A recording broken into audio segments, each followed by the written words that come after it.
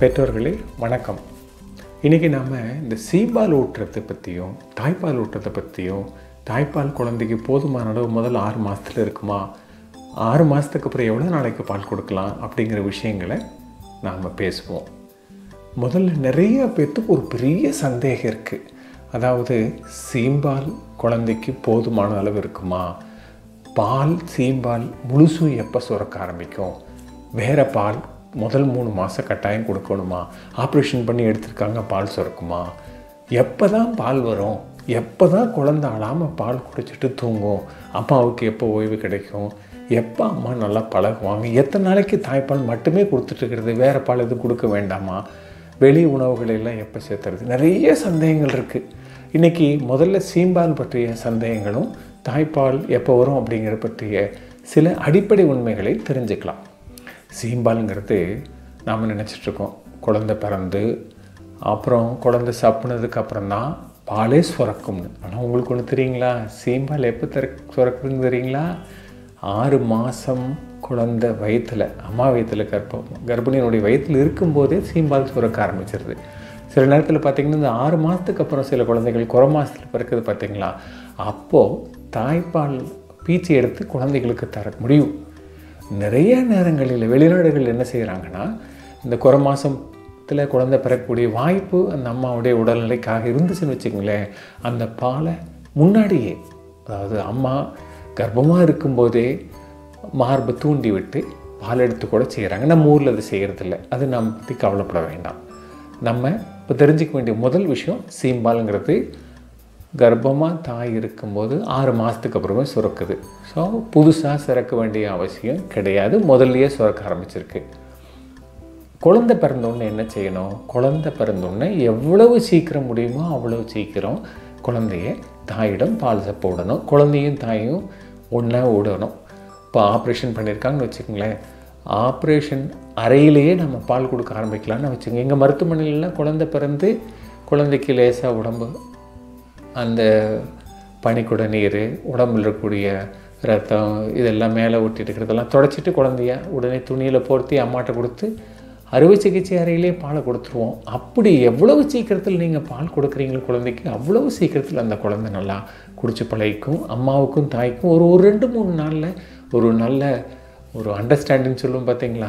அந்த புரிந்துணர்வு வந்து ரொம்ப நல்லா பால் கொடுக்கறதுல பிரச்சனை இல்லாமையே போயிடும் அதனால் நீங்கள் எப்பவுமே அதாவது அறுவை சிகிச்சை மூலமாக குழந்தை பிறந்திருந்தாலும் சரி அல்லது சாதாரண பிரச்சனை எந்த முறையின் மூலமாக குழந்தை பிறந்திருந்தாலும் பிறந்து ஒரு மணி நேரத்துக்குள்ளே தாய்ப்பால் ஊட்டுவது மிக மிக முக்கியம். சரி ரெண்டாவது கேள்வி எல்லாத்துக்கும் என்ன இருக்குன்னா அந்த சீம்பால் பார்த்தீங்கன்னா நிறையா பால் குழந்தை அழுதுடனே சந்தேகம் சொந்தக்காரங்க பீச்சி பாருப்பா பால் வருதா இல்லையான்னு பார்க்கலான்னு சொல்லி. அதனால் என்ன செய்வாங்க நிறையா பேர் பாலை பீச்சி குழந்தைக்கு பால் வருதான்னு பார்ப்பாங்க. அப்போ தான் நம்மளுக்கு தெரியும். இன்னொரு பத்து மில்லி இருபத்தஞ்சி மில்லி தான் வரும். இந்த பத்து மில்லி இருபத்தஞ்சி மில்லி இந்த குழந்தைக்கு போதுமா? கட்டாயம் பத்தாதுங்க. என்ன ஆகும்? இவ்வளவு பால் குறைஞ்சிருச்சுன்னா அந்த குழந்தைக்கு ஏதாவது தொல்லை வந்துருமா? எடை ரொம்ப கம்மியாயிருமா? காமாலை வந்துருமா? சக்கரை குறைஞ்சிருமா? நிறைய சந்தேகம் பெற்றோர்களுக்கு இருக்குது நிறையா மருத்துவமனையில் கூட அந்த செவிலியர்களோ மற்றவர்கள் தெரியாது இந்த விஷயத்தை பற்றி தெரியாதுங்க நினைப்பாங்க. அம்மா பால் வராதுங்க நீங்கள் ஊற்றிருங்க அப்படின்னு சொல்லிடுவாங்க. பாலை கரைச்சி கொடுத்துருவாங்க டின் எழுதி கொடுத்துருவாங்க. இல்லைன்னா மருத்துவர் ரொம்ப கட்சி கஷ்டமாக அவர் வந்து அழுது அழுது இருந்தால் அவங்களும் எழுதி கொடுத்துருவாங்க. இதில் என்ன பிரச்சனை ஆகுங்கிறது இப்போ பார்ப்போம் இந்த சீம்பால குழந்தை கொடுக்க ஆரம்பிச்சிருச்சுன்னு வச்சுங்களேன் அதுலேயே எல்லா சத்தும் கிடைக்குங்க. சீம்பால் அளவில் குறைவாக இருந்தாலும் சத்து நிறையா இருக்குது குழந்தைக்கு முதல் எதிர்ப்பு புரதம் எல்லா சத்துக்களும் அதில் இருக்குது அதிக புரதம் இருக்குது ஜீரணமாகிற பொருட்கள் சுலபத்தில் ஜீரணமாகும். உள்ள குடலில் இருக்கிற அந்த காட்டுப்பீன்னு சொல்ல மலமிளக்கி அதை வந்து வெளியே தள்ளுற மலமிளக்கியாகவும் அது இருக்குது இப்படி நிறைய விஷயங்களுக்கு அது உதவி செய்யும். ரெண்டாவது குழந்தை தாயினுடைய மார்பில் தன்னை வாயை வைத்து நன்றாக கஃபி சப்ப ஆரம்பித்தா தான் அது பழக ஆரம்பிக்கணும். ஒரு ஒரு விஷயம் பழகிறதுக்கு டைம் ஆகலைங்க. எது பிறந்த உடனே நம்மளுக்கு தெரிஞ்சிருமா? நீங்கள் கண்ணுக்குட்டி பார்த்தீங்கன்னா பிறந்த உடனே எந்திரிச்சு நின்று அந்த குழந்தை உடனே குடிக்க ஆரம்பிச்சிடும் அது மாதிரி மனித குழந்தைங்களால் செய்ய முடியுமா? அப்படின்னு நிறைய பேத்துக்கு சந்தேகம் இருந்துச்சு.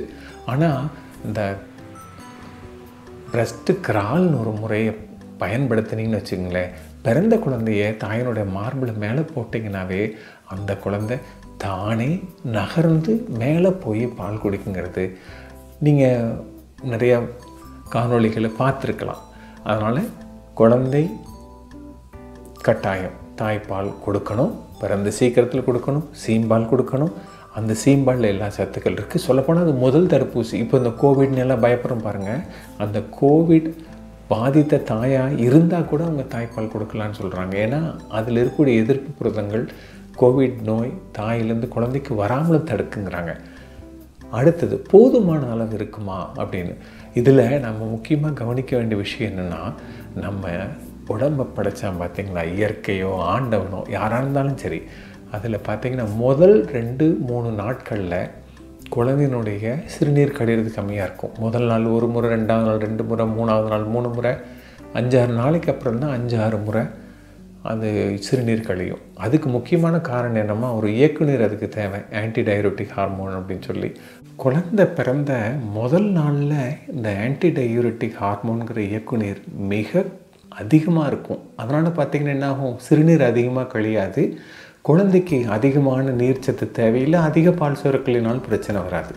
அதே முதல் நாள் கழிஞ்சு ரெண்டாவது நாள் மூணாவது நாள் ஆகும்போது படிப்படியாக அதனுடைய அளவு குறைஞ்சி அஞ்சாவது நாள் ஆகும்போது சிறுநீர் அளவு அதிகமாகி வழக்கம் போல் அஞ்சுலேருந்து ஆறு முறை கழிய ஆரம்பிக்கும். அன்றைக்கி பார்த்திங்கன்னா அந்த ஆன்டிடயூரிட்டிக் இயக்குநீர் வந்து வழக்கமாக இருக்க வேண்டிய அளவுக்கு வந்துருங்க.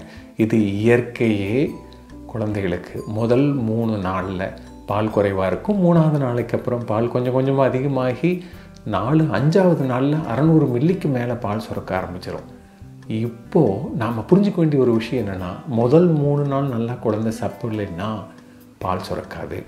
சுரந்த பால் வெளியேறலைன்னா அதாவது மார்பிலிருந்து சுரந்த பால் வெளியே வரலைன்னு வச்சுக்கோங்க பால் சுரப்பு குறைஞ்சிரும். அதனால் அடிக்கடி ரெண்டு மணி நேரத்துக்கு ஒருக்கா குறைஞ்சது ஒரு பதினஞ்சுலேருந்து இருபது நிமிஷமாவது குழந்தை தாயிடம் பால் குடிக்கிறதுக்கு நாம் உதவி செய்யணும். குழந்தை கூட இருக்கிறவங்க முதல் மூணு நாள் சிரமப்பட்டாங்கன்னா ரெண்டு வருஷம் வரைக்கும் தாய்ப்பாலை தொடர்ந்து கொடுக்க முடியும். அதுக்கு மேலே கூட சிலர் கொடுக்குறாங்க. நம்ம ஊரில் முதல்ல ஆறு மாதம் வரைக்கும் தாய்ப்பால் மட்டுமே அதாவது நூற்றி எண்பது நாள். அதுக்கப்புறம் தாய்ப்பாலோடு வீட்டில் சமைக்கிற உணவை காரம் இல்லாமல் இனிப்பு சேர்க்காமல் கொடுத்துட்டோம்னா போதும். கவலைப்பட வேண்டியதில்லை. இந்த பாலோ பால் பவுடரோ மாட்டுப்பாலோ நாட்டு மாட்டுப்பாலோ எதுவுமே ரெண்டு வருஷம் வரைக்கும் தராமல் இருந்தோம்னா குழந்தைக்கு வரக்கூடிய அலர்ஜி தொல்லைகள் நிறைய பிரச்சனைகள் வரும். வருவது குறைஞ்சிரும். அதாவது தாய்ப்பாலுக்கு பதிலாக மாற்றுப்பாலையோ மாட்டுப்பாலையோ நாட்டு மாட்டுப்பாலையோ பால் பவுடரையோ குழந்தைக்கு நீங்கள் தந்தீங்கன்னா குழந்தைக்கு பதினஞ்சு விதமான நோய்கள் வரும். அதில் முக்கியமாக தொற்று நோய்கள் வரக்கூடிய வாய்ப்பு அதிகம். அதில் நிமோகாக்கள் அப்படின்னு சொல்லக்கூடிய நிமோனியா தொற்றுநோய் மற்ற வயிற்றுப்போக்கு சம்பந்தமான தொற்று நோய்கள் வரக்கூடிய வாய்ப்பு அதிகம்.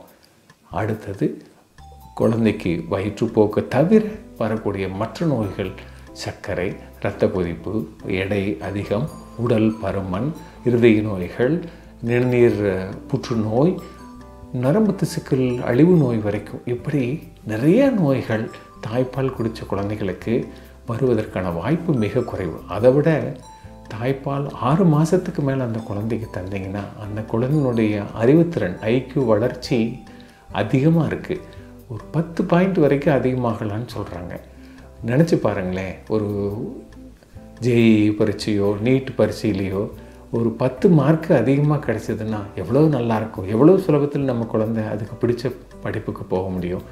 அதனால் நாங்கள் சொல்லுவோம் நிறையா. இங்கே பாருங்கள் முதல் ரெண்டு மூணு நாள் வீட்டில் இருக்கிறவங்க கொஞ்சம் உதவி செஞ்சீங்கன்னா தாயும் குழந்தையும் எப்படி குடிக்கிறது எப்படி கொடுக்கறது அப்படிங்கிறத ரெண்டு பேர்த்துக்கு புரிஞ்சிடும் அதுக்கப்புறம் பிரச்சனை வராதுன்னு சொல்லுவோம். அதனால் உங்களுடைய ஒத்துழைப்பு முதல்ல தாய்க்கு தேவை. தாய்க்கு சப்போர்ட்டாக இருக்கணும். ரூமில் வந்து எல்லாம் உட்காந்து வரிசையாக காப்பி டீ கடையை ஆரம்பித்து காப்பி டீ குடிச்சிட்டு நியாயம் பேசிட்டு பால் கொடுக்கறதுக்கு கூட கொஞ்சம் ஒதுக்குப்புறமாக திரும்பி உட்காந்து அவங்க கொடுக்க வேண்டியது இருக்கும். நம்ம பேச்சு தான் முக்கியம். வர்றவங்களுக்கு வேறு சொந்தக்காரங்களுக்கு எல்லாம் சரியாக கவனிக்கலைன்னா அது ஒரு பெரிய விஷயமாகும். அதனால் எந்த இன்னையிலேருந்து புரிஞ்சுங்க எந்த வீட்டில் அல்லது எந்த மருத்துவமனையில் குழந்தை பிறந்ததுன்னா போய் பார்த்த உடனே அறையை விட்டு வெளியே வாங்க. குழந்தைய அடிக்கடி தொந்தரவு செய்யாதீங்க. அம்மாவும் குழந்தையும் தனியாக இருக்கிற நேரம் ரொம்ப முக்கியம். சொல்லப்போனால் முதல் ஒரு மணி நேரம் தாயும் குழந்தையும் தனியாக இருக்க விட்டிங்கன்னா ஆறு மாதம் ரெண்டு வருஷம் வரைக்கும் தாய்ப்பால் குடிப்பதற்குரிய வாய்ப்பு கொடுப்பதற்குரிய வாய்ப்பு அந்த குழந்தைக்கும் தாய்க்கும் ரொம்ப அதிகமாக இருக்குன்னு ஆராய்ச்சிகள் சொல்லுது. அடுத்தது இந்த சீம்பால் கொடுக்கும்போது வேறு ஏதாவது பால் கொடுக்கலாமா? நான் சொல்லிட்டு கூடாதுன்னு. ஆனாலும் சிலர் விட மாட்டாங்க தேன் கொடுப்பாங்க சக்கரை தண்ணி வைப்பாங்க. அப்புறம் சில ஊரில் வந்து டீ கூட கொடுப்பாங்க. அப்புறம் நம்ம ஊரில் ஒரு நம்பிக்கை பெரியவங்க வீட்டில் வயசானவங்க வந்து தேனை மோதிரத்தில் தொட்டு குழந்தை வாயில் வச்சோம்னா அந்த குழந்தை நல்லா பேசும் அறிவாளியாக இருக்கும். அந்த குழந்தைக்கு அவங்களுடைய குணமெல்லாம் வரும். இது ஒரு நம்பிக்கை தான் ஆனால் இது கூட வேண்டாம்னு சொல்கிறேன் ஏன் தெரியுங்களா? இந்த இனிப்புகள் தாய்ப்பால் இருக்கிறது லாக்டோஸுங்கிற இனிப்பு. இதுதான் மாமல்ஸ்ன்னு சொல்லக்கூடிய பாலூட்டிகளில் அதிகபட்ச இனிப்பு தரக்கூடியது லாக்டோஸ் ஆனால் செயற்கையாக இருக்கக்கூடிய தேனோ சக்கரை தண்ணியோ இதெல்லாம் கொடுக்கும்போது அது குழந்தைக்கு பிடிச்சிருச்சுன்னு வச்சுக்கோங்களேன். அந்த குழந்தை என்ன பண்ணும்? தாயிடம் குடிக்கிறத பால் குடிக்கிறத குறைச்சிரும். குடிக்கலன்னு நான் சொல்லியிருக்கோம். குடிக்கலை உள்ளே சுரந்த பால் கூட வெளியே வரலைன்னா பால் உற்பத்தி குறைஞ்சிரும்.